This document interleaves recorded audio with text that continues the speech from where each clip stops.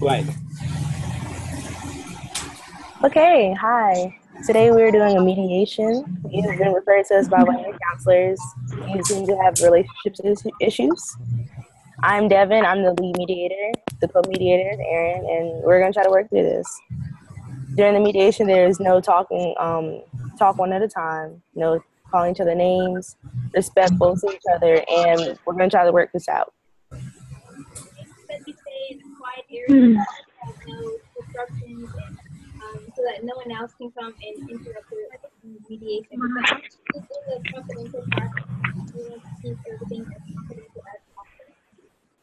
Right, and this is also voluntary, so it's not forced.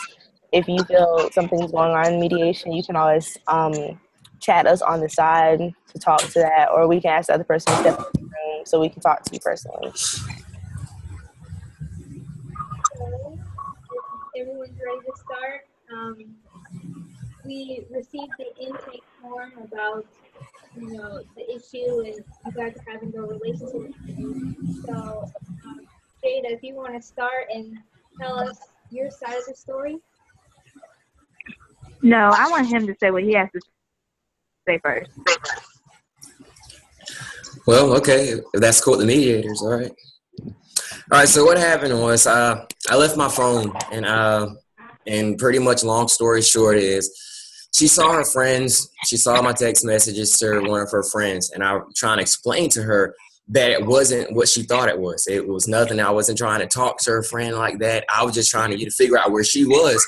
So I called, you know, I, I well, I text her friend and asked, uh, you know, is Jada with you? And then uh, the conversation, you know, she's like, no, but uh, and the conversation just got started, and I think she's just a little bit overreacting about it, you know.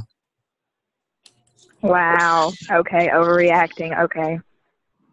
Now, is this Jada? This friend of yours is this yes. a close friend, or does she know that you are going like that? You guys are together, or what's your relationship with this um other girl? We weren't best friends, but we were close enough to the point where we could text on occasion. We had a few classes together. We were close enough friends. Okay, so she knew about Derrick. I'm sorry, what'd you say? She knew about Derrick, right? Oh yeah, oh for sure, all the way. Okay. I talked about him all the time. She was very clear on the relationship. She knew what she was doing. Okay. So, how about you go ahead and tell us your side of the story? Okay. So, this is how I feel about him. It doesn't matter about overreacting or if me finding or going through his phone. This is this was the main issue. If I have a friend that you know about and she knows about you as well, why would you betray my trust and what we have been building in a relationship to talk to her or even entertain her? I have seen the text messages. I have evidence. I have screenshots. I am highly upset about how I. But I don't know why you're why are you upset for? It's no, it's no reason to be upset. I don't understand why you're cutting me off. That's what I don't understand. That's what, what I don't understand. So I'm gonna finish. I'm Go gonna finish saying what I was gonna say. Thank you, thank you, thank you. So it's just it's just a simple fact that he he's talking as if he did nothing wrong and he wants to continue this relationship. But for me, it's just like you clearly don't if you disrespected me in that sense. Right. If you just crossed the boundaries we had been setting, you know? Now, Derrick, did you set boundaries? Did you two sit down and set boundaries when the relationship started? Well, no. Well, I guess you can say it was kind of uh, one of those unspoken things, kind of knew, but then kind of didn't know. We kind of didn't really literally sit down and discuss stuff like this right here, but you know, we kind of, I know her very well, and I kind of just, I guess, to a certain degree, kind of figured that she might, you know, respond maybe, but I, you know, I didn't think that she was gonna see. I didn't think it was a big deal, even if she did see the messages, because okay. it was nothing bad or out of the way. I didn't think. All right, you gonna say something, Erin? Yes. Okay, there. you said basically long story short, uh, no, long story short, this and this happened. What, in your opinion, do you feel was the main issue? Well, I guess um, you know when she saw the messages, I guess her whole thing was Derrick, you shouldn't been talking to my friend. Period. And I don't care what it was about, and I kind of didn't really agree with her because I mean I it, I didn't think it was that serious. I mean she knows that I'm with her, so so I mean I don't I didn't quite. In her accusing you or getting upset with you, how does that make you feel? Well, it just made me feel like, man, like she just really just want to overreact and like she doesn't really care about the uh, the relationship in depth. I mean, uh, if she's just gonna let something like that uh, come in between it, I mean, I just think I just thought it was real petty. I didn't think it was a big deal at all. Okay, now Jada, what specifically did he say that made you upset in the text messages? it wasn't it wasn't just friendly everyday conversation. It wasn't, hey, can you help me with the homework? Hey, how's your dog? Hey, how's your grandma?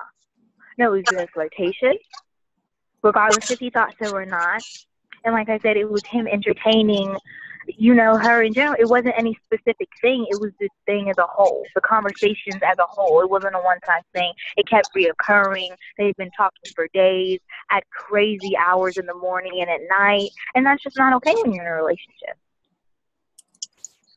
Right. Now, when it comes to this situation, Jada, what do you feel you need from Derrick? I need him to one own up to the mistake he made because I do feel like this is something we can get past. But if he can't find the fault in what he did wrong in the first place, how can we fix it and move on?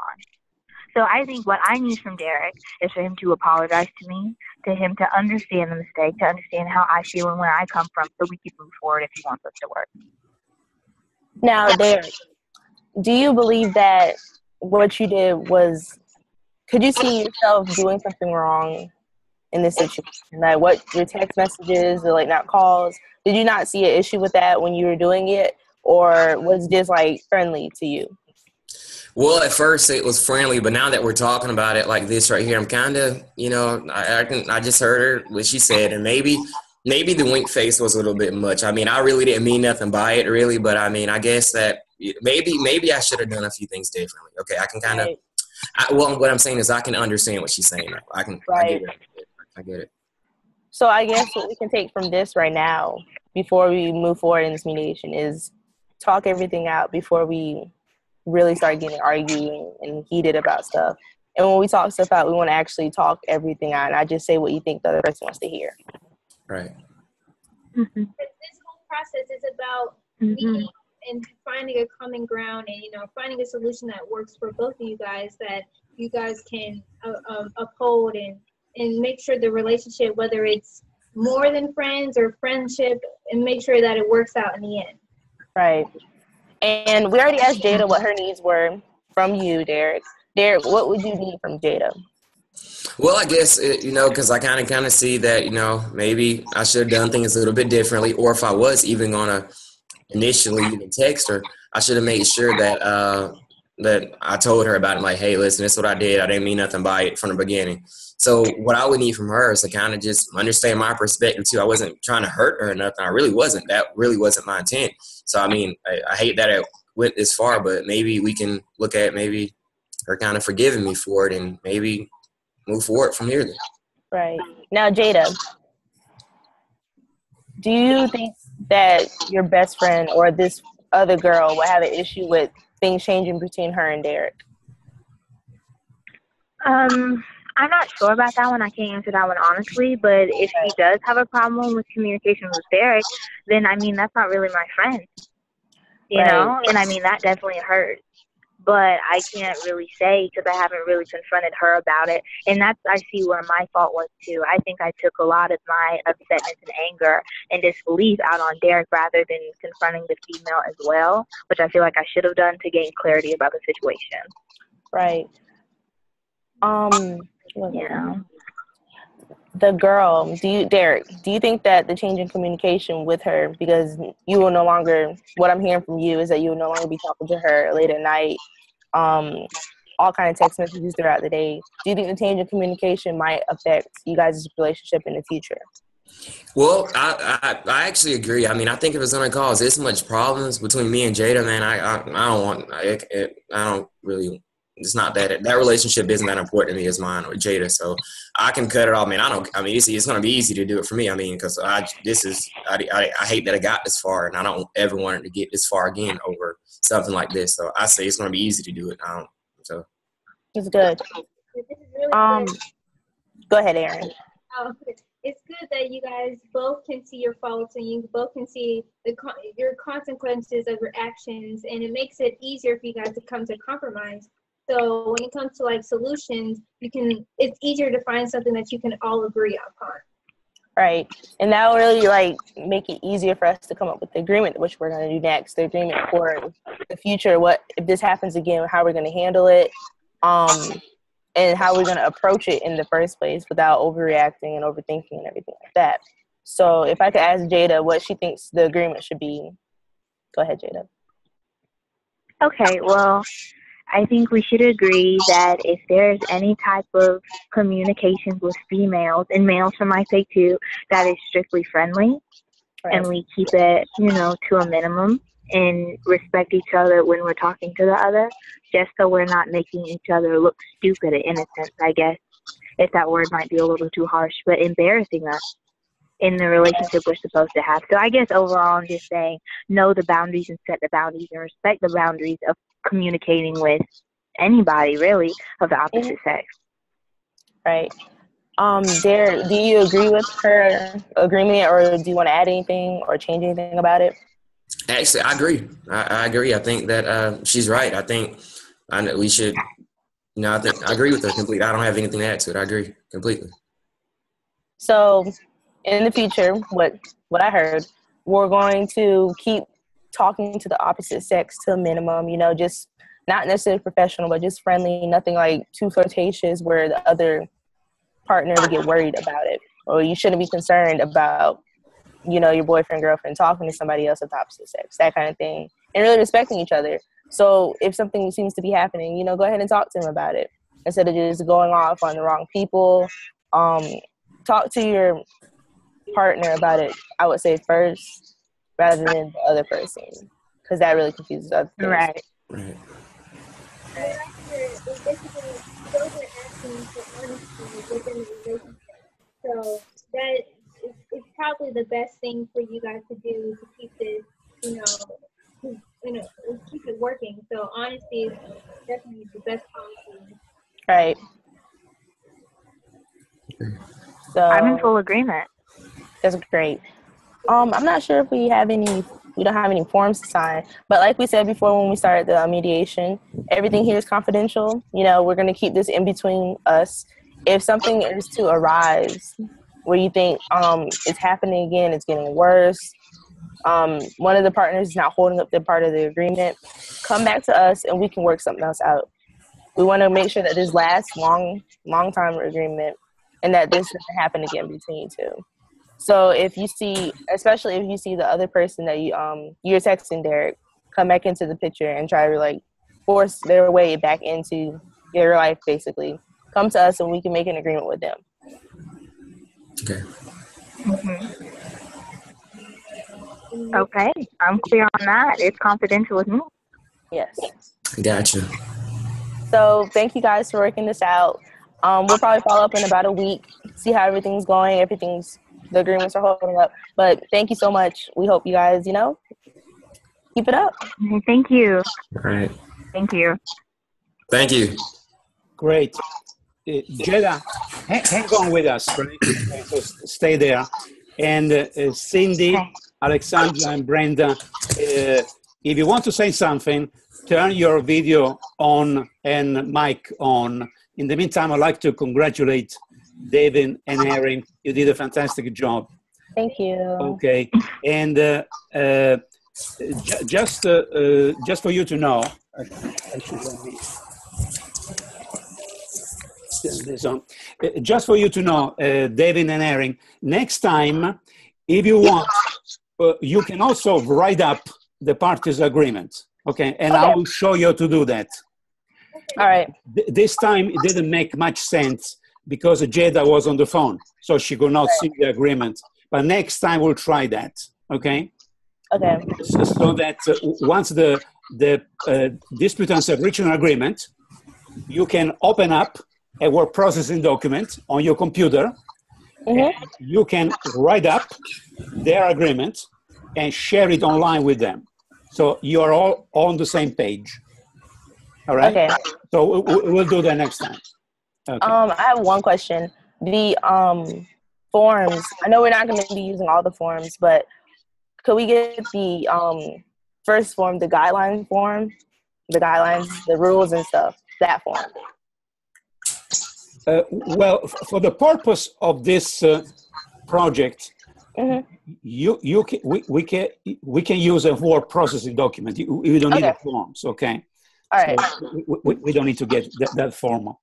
Uh, uh, technically, I think it, it all it went all very well, except that Erin, uh, it, sometimes it wasn't so easy to hear you. So you you you have to you may have to adjust to your microphone or something.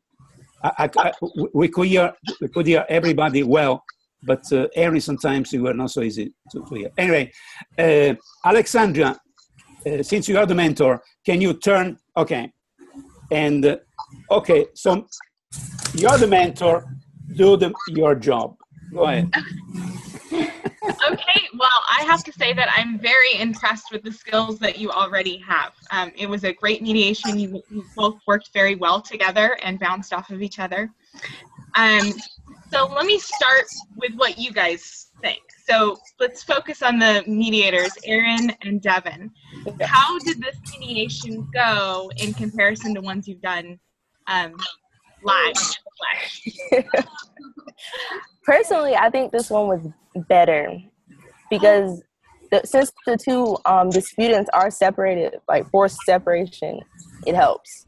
And since you can't talk at the same time or else you can't hear other people, that helps as well. Because we did have that one interruption, and Jada was really good at saying, "Hey, I'm being interrupted," so you didn't have to to step in.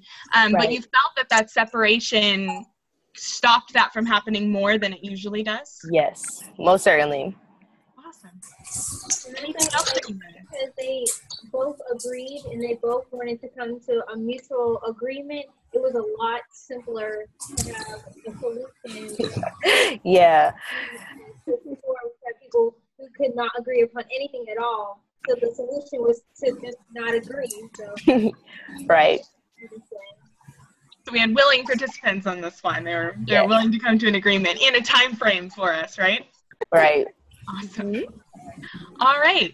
Um, and it and it was interesting that we had one person on the phone too, because I know the the mentors we did simulations similar to this, Mhm. um, and it was a different experience. Jada, how was it uh, your experience being on the phone and only hearing the mediators and and uh, Derrick?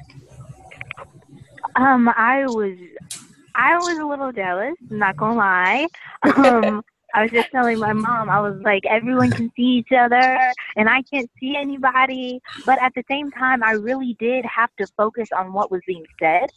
Right. So it definitely was different. Not really in a negative way, but I'm, you know, it was definitely different. So what we're saying is the physical separation. It kind of took some of the body language stuff out of it. It did. And really Mhm. focused in on what people were Yeah. were saying more than the heat in the room. Yes. I think that actually Absolutely. though, because usually people rely on body language to see what the other person is saying, but now we're forced to actually say what we're thinking. Very cool. Well, I have um, a couple of notes of what I, again, totally impressed by the skills you already have. Um, you guys did a really good job of getting what the issue was out of each of them. Jada was pretty pretty forthcoming of this was my problem, and then you pulled it out of Derrick. here, and I think it was you that said, "Hey, you said long story short, um, but, but what does that mean, right? What's the issue there?" You were very good at getting those um, those issues out. Um, and then talking specifically about what each item meant to different people, of what it meant to Derrick as opposed to what it meant to Jada. Um, and then I liked that you addressed that there was this sort of third person in the dispute that wasn't here, was the friend. Mhm. Um, and acknowledging, hey, there is another person who's not in this discussion, and let's talk about how we're going to address that. Right. Um, so I think you did a great job hitting on all of those points. Great job handling the online forum, and um, and I did notice that you guys were great about going, "Hey, Derrick," using the name. What is? What are we talking about? Or "Hey, Jada," and Right. it makes it simpler to understand who's doing what. Yeah. So disputants, we kind of got to hear from Jada. Derrick, how was it for you? You can go ahead, Jada. Payback. See, look, and this is what we were doing during this. You were so like easy to work with, Derrick. It's crazy. No, they're asking you, how did you feel about it? Yeah, how did you feel? Oh, okay. Yeah, Jada got to talk already. Okay, well, I thought, you know, relationship now, Derrick. I think, hey, we're gonna be okay. We're gonna live. I mean, I think that uh, at first I came from the perspective of not, uh, you know, not couldn't I couldn't really see it. I really, I really didn't. I, I honestly, from the get go of the conversation, didn't see the problem in the conversation. Didn't see how it severed the relationship ties. I didn't see any of it. It just made no sense to me.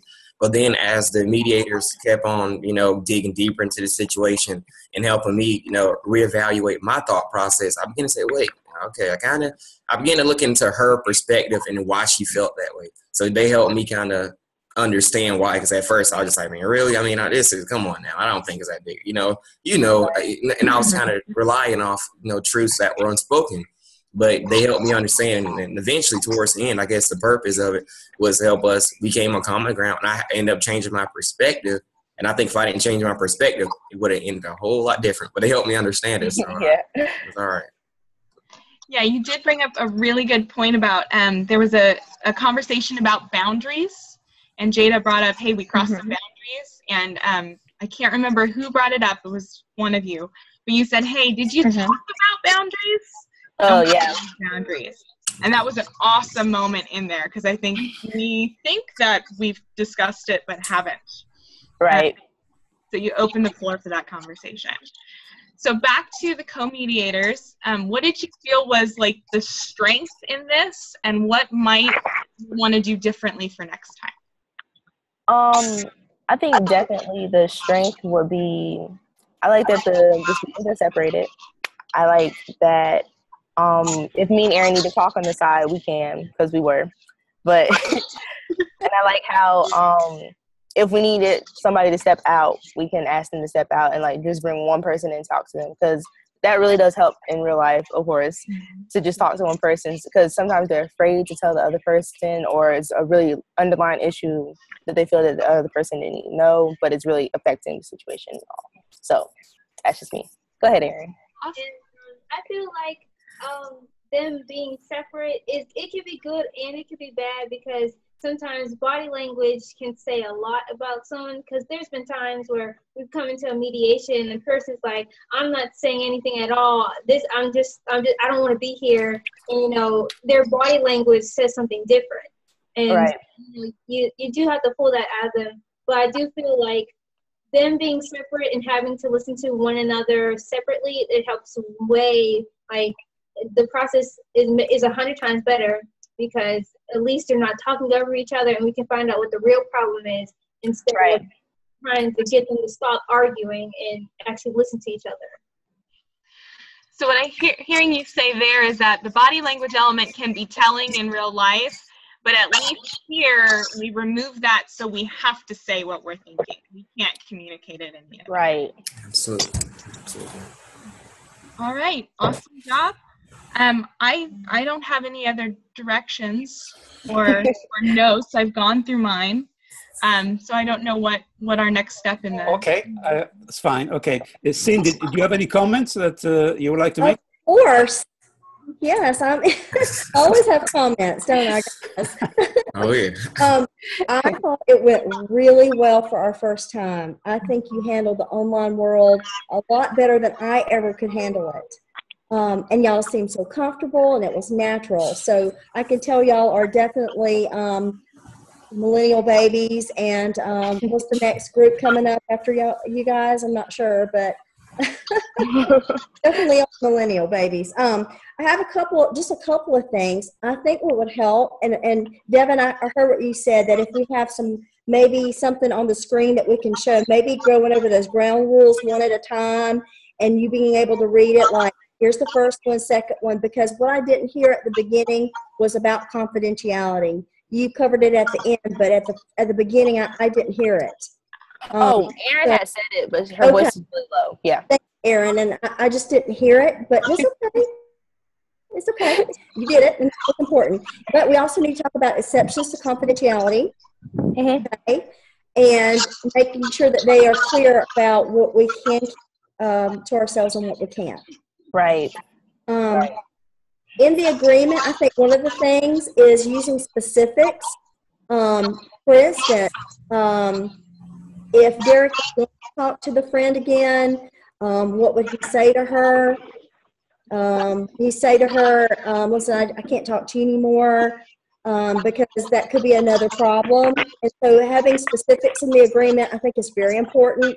Maybe not going too in depth, but just enough where Derrick knows what those boundaries are. Right. And just one more thing, um, a little bit of advice giving was given.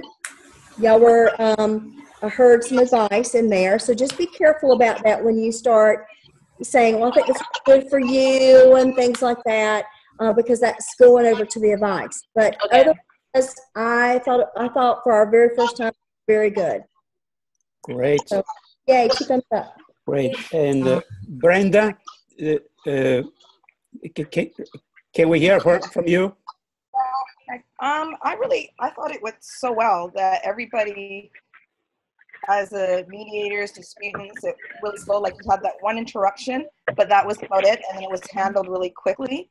So that was really good. And I did actually really like the way Alexandria, as a mentor, went afterwards because I think it gave an opportunity to really reiterate everybody's point of view and clarify it. Because even though mediators did it by her turning around and asking okay what did you get out of it? How did you like it? it gives everybody an opportunity to rethink what they got out of it. So i think without that part of alexandria everything sort of resolved but then that just sort of cements it when she makes those comments afterwards because she did some really excellent observations and really showed that she listened to the mediation. So I thought that was really helpful. I, I, I hope you guys thought it was helpful too, but I thought me hearing it that it was helpful. All right. A, a, a couple of things, because I've uh, run uh, hundreds of uh, online mediation simulations with adult mediators from around the world, okay? So I'd like to make some comments about what you just noticed. And when you're online, uh, the party's behavior is a bit different than face to face because they feel safer, emotionally and physically safer, because they are not across the other in the same room. Okay, so there is an element of safety in online mediation. Okay, because they don't need to react to the to the other to the other party, and obviously also online mediation is much easier to set up. It's more convenient because the parties can participate with whichever device they have PC, Mac, iPhone, as we have seen today. Okay. Uh, now, let me also remind you that the reason we are doing this is to show to all peer mediators across the United States that they can practice their skills online from wherever they are with the assistance of a mentor who will help them learn as much as possible out of each case. Because the whole idea of the simulation is to keep improving. And the only way that you can practice is also by screwing up. So it is good if you if you learn every time and if you do something that didn't didn't work, you can find it out immediately from the other party during the debriefing session. So right. there's a lot, I think there's a lot to be said about the usefulness of this, which can help uh, peer mediators across the United States. And I would like to congratulate you again because you are the first ones in the United States to do this together. Okay. So what was next is that uh, in the next couple hours, I'm going to send you the video recording of okay. everything, so you can see yourself. Okay, mm-hmm. and I will also send an exit survey for uh, Erin, David, Derrick, and Jade. It only takes five minutes. So, and uh, you will, we will ask you to assess how useful this experience was for you, what you liked about it, what you didn't like about it, what you like to change next time, and so on. And I think that we have another mediation scheduled, uh, another simulation scheduled for next week. Okay. Yes. So I, I can't wait to see you again. But it, it was a fantastic experience, and uh, I hope that you all liked it. All right. Okay. Yeah. So we'll see you soon, Okay. and we'll stay in touch. Bye now. Okay. Bye. All Bye bye. Thanks, bye. Bye bye.